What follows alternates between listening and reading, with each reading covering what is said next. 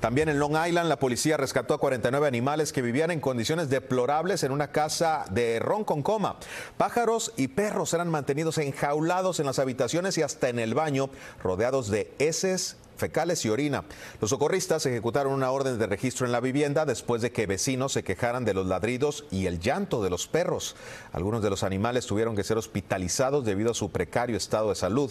La moradora de la casa, descrita por la policía como una acumuladora compulsiva, fue arrestada por crueldad animal.